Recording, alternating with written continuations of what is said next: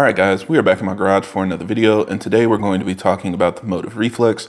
A lot of you guys have reached out to me to help you with troubleshooting if you're having issues with your install and just trying to get it all working. And if you've watched my previous videos then you'll see that I've installed a Reflex on my 440i as well as my 340i. So with that in mind, I feel like I've got a good feel to help you guys figure out any kind of issues that you're having and just help you understand what to expect when you get your reflex so that you can set it up correctly the first time and prevent yourself from having a lot of issues as you try to get everything dialed in. It's one of those things that's not really that complicated, but it is pretty easy to make mistakes and then it can be pretty frustrating to fix them.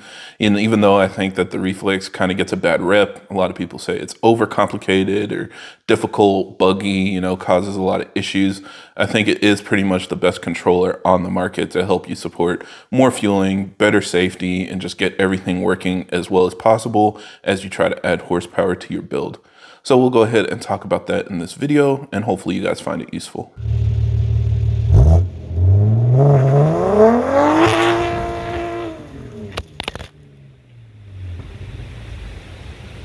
Now, as always, for everybody that's new to the channel, I create these videos to help keep you updated on the latest developments in our community, as well as discuss technical topics so that we have a better understanding of how our engines work.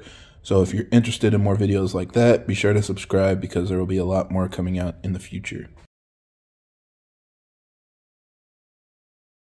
Now, really quick, before we jump into this, I want to remind you guys that I will have links down in the description to all of the products that I'm talking about in this video.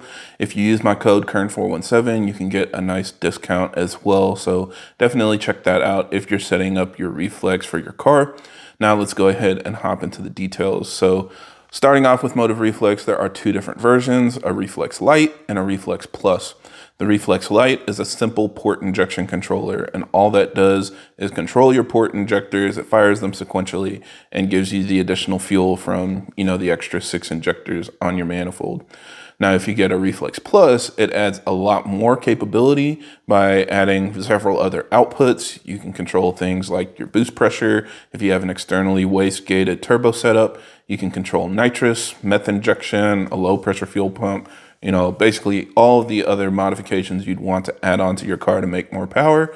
But it also has additional inputs so it can monitor things like ethanol content, fuel pressure, temperature for your coolant, oil, you know, basically anything that you want to monitor to make sure that you have safeties in place. So if your pressures get too low or your temperatures get too high, it can put the car into a soft limp mode and prevent you from actually damaging something in your engine.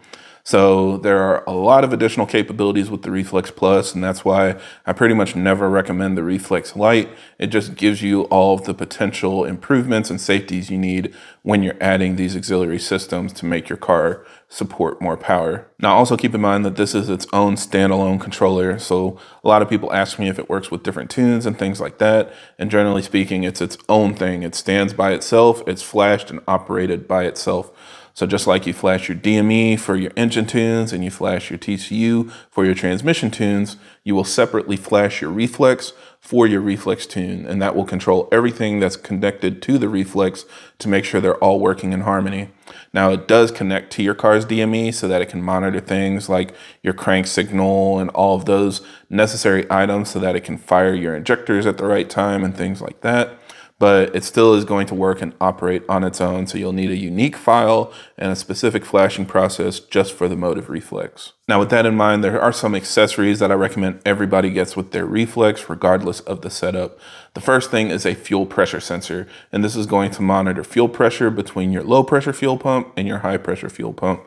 Our cars from the factory do not have a sensor in this location, so there's no way to monitor fuel pressure on that side of the engine.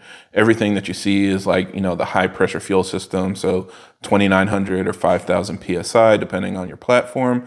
But by adding the sensor, you get that critical information you need to make sure that your low pressure fuel pump is keeping up. Now, if you're adding port injection, the most I've seen people make is an extra 50 horsepower or so before they max out their low pressure fuel pump. So that's why I think it's a good safety, just to make sure if you have your stock pump, you know that it's keeping up and not causing any issues.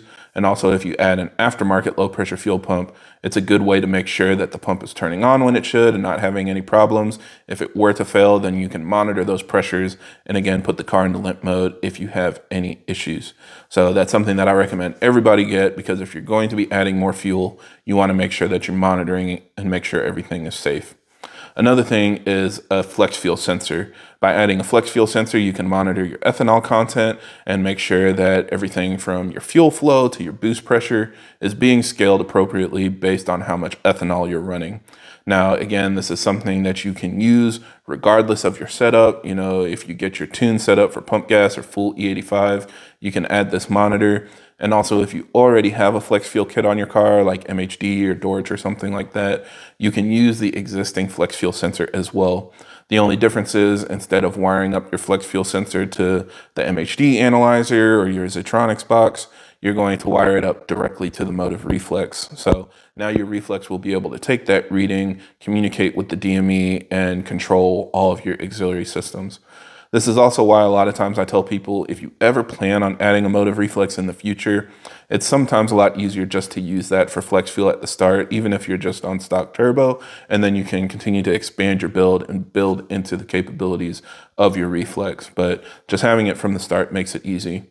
Now, if you don't have a flex fuel kit, the way I recommend adding in a flex fuel sensor is using the 360 loop fittings. Those will plug into your existing fuel lines and they won't add any additional length to the system or anything like that. It'll fit basically in the same location and it just adds the flex fuel sensor in that loop. So that's what I run on both of my cars. It works great, takes up a minimal amount of space. And again, you can just wire the reflex directly up to your flex fuel sensor to get the data that you need. The last thing is making sure that you have the right harness for your setup. So depending on your kit, it'll either come with the universal harness or it will come with a plug and play harness. I have the universal harness on my setup on my 440i, and that comes with the loose leads. So you will tap the individual wires on your DME to get all the signals that you need. I have the plug and play harness on my 340i, and that one is different because instead of tapping any wires, you basically just plug into your engine harness with splitters that gets the signal and data that your reflex needs to work. So it's really just up to personal preference. If you're going to be installing it yourself, I recommend just be real with yourself. You know, if you're concerned about wiring and you don't want to have to deal with counting pins and things like that, the plug and play harness is the way to go. I know it's a little bit expensive, you know, it almost doubles the price of your reflex, but it is a really high quality kit and it's just something that works out of the box. I didn't have any problems with it. When I did the universal leads on my 440i, I did have issues at first that thankfully I was able to resolve. And a lot of people do work through those issues, but again, it's just kind of up to you on which route you want to go. Now for installation, there are a lot of different ways that it can go. I have installation DIYs for the universal leads on my 440i, as well as the plug and play harness on my 340i, so feel free to check those out if you want a little bit of insight on how the installation usually works. But the first thing that I recommend before you do anything is go to Motiv's website, click on the reflex option at the top and go through their Dropbox. They've got files for all the installation instructions, wiring diagrams, and things to help you plan out how that's going to work read through that completely, make sure you understand it before you dig into anything.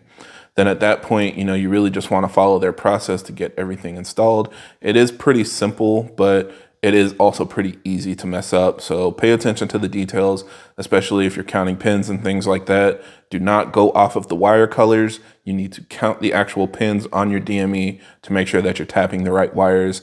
They might change the colors depending on the model year and options and stuff like that on the car. So it's just not really a reliable way to make sure that you're tapping the right wires.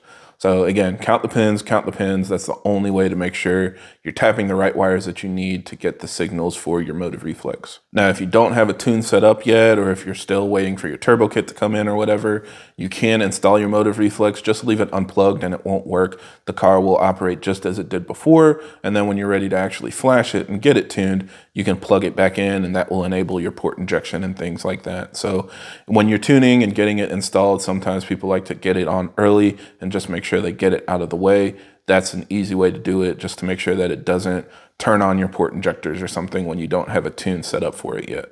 Now, speaking of, let's go into the actual setup of your Motiv Reflex. Again, go through the guide on Motiv's website to get familiar with how all of this works. The first thing that you're going to need is to download TunerPro. This is the software you'll use to connect to your Motiv Reflex and flash your maps to your Motiv Reflex. So it is freeware. You can download it for free, but just make sure that you have a computer that works with it. And once you download it, you'll be able to set everything up.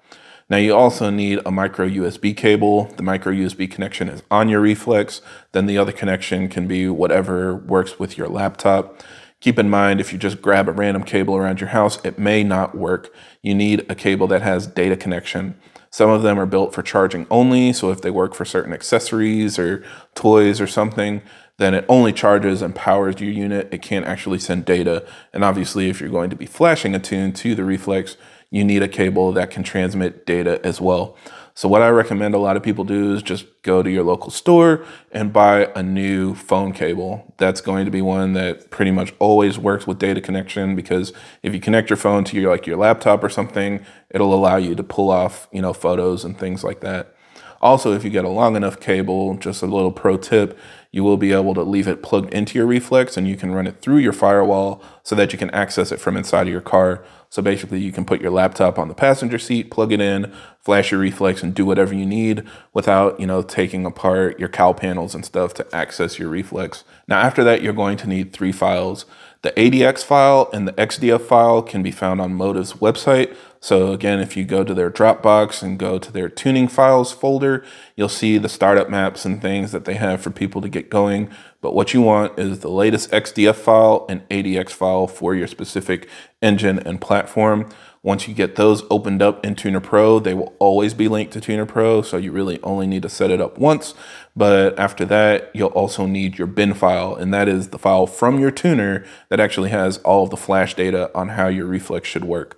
So get that bin file from your tuner, upload that, and every revision, you will upload the new bin file, but leave the XDF and ADX files the same. Also make sure that you follow the initial setup guide that's in the Motiv Reflex documentation. They'll show you all the checkboxes and things that you need to enable in the TunerPro configuration to make sure that it works properly. So just make sure that all of your screens match the pictures that they're showing in their installation guide. Now after that, you're ready to flash your bin file. And every time I do a flash, I press these three buttons in sequence. The first button is kind of like that plug, and that's the connection button. That will make sure that you're actually connected to the Motiv Reflex in order to flash your file. The next one is the upload button, and what that does is it will upload the bin file from TunerPro to your Motiv Reflex.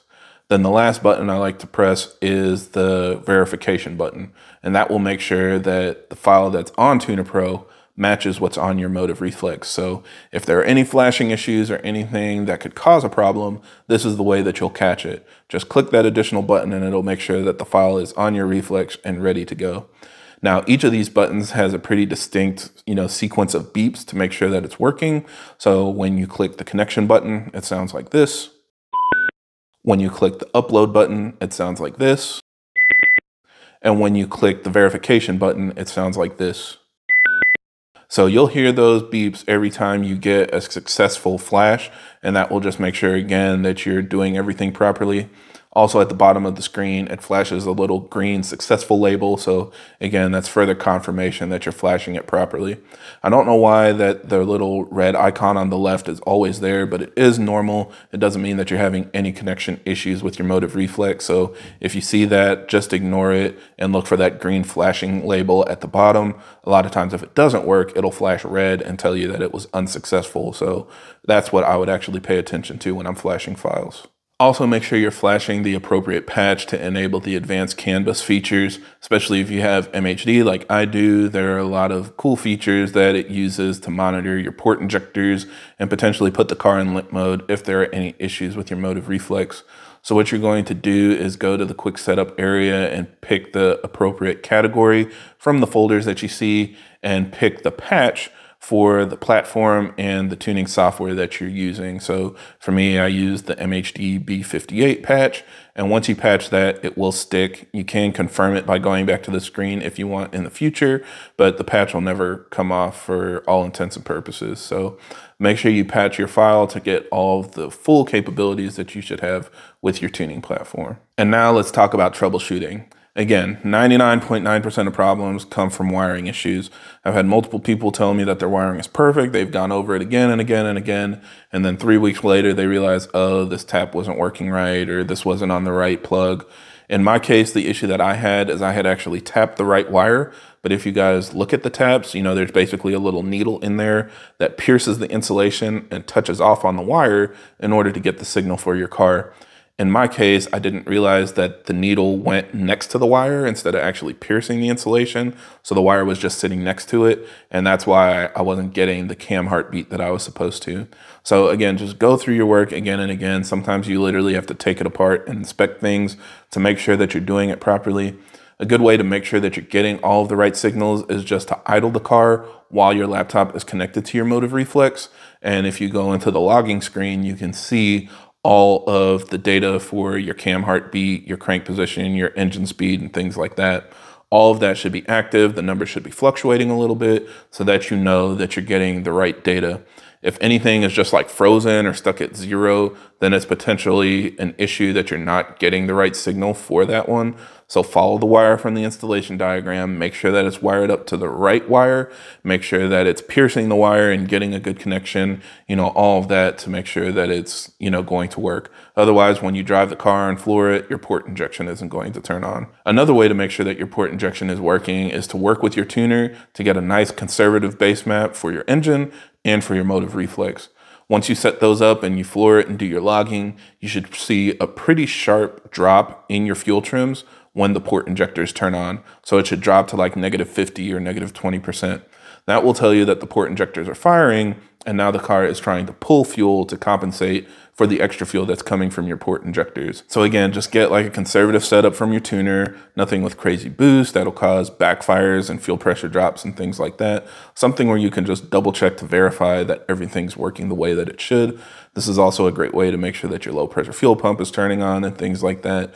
Again, keep in mind, I have made a low pressure fuel pump DIY that shows you how to wire it up and make sure that it's turning on as well. So I'll have all that linked down in the description, but lots of different ways that you can make sure from logs that all of your reflex functions are working properly. Now, one last thing I want to comment on that I didn't hear a lot about, but I had a pretty big issue with my car because every time I turned it off, it would just not go to sleep. I would hear this buzzing sound and these clicks and things that would not stop for like 10 minutes.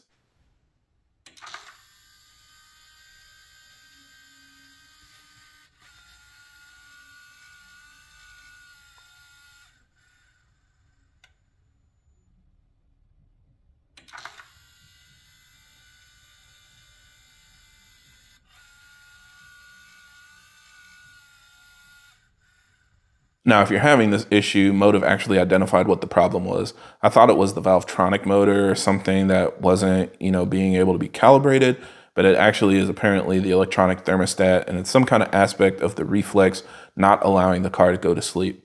So if you move your power wire from the DME tap to a fuse box location that is a switched fuse, that will allow the Motiv Reflex to completely go to sleep when you turn off the car and it will prevent it from clicking and buzzing and basically keeping your engine awake. So good news is it's pretty easy to solve. It took me a little over a year to figure it out, but just by moving the reflex power wire from the DME to the fuse box, I've completely resolved the issue. So hopefully that helps anybody out that's having the same problem. And yeah, I think that's pretty much it. Again, thank you to Motiv for creating such a useful solution for those of us that want to add additional power to our cars. If you guys are having any additional issues, feel free to reach out to me, leave a comment, you know, message me, and I can try to help you out with troubleshooting. But just again, go through your wiring, make sure that it's all done properly, make sure all of the wires are correct, make sure the taps are getting a good signal, and that will solve pretty much all of the issues that I typically hear about. So I think that's it for this video. Thank you guys for watching and I hope this helps. And if you have any other questions or comments, leave them down below. The first thing, I'm making a video. Hold on. I'll come in later. What? Yes, you can get your tablet and your Oreos.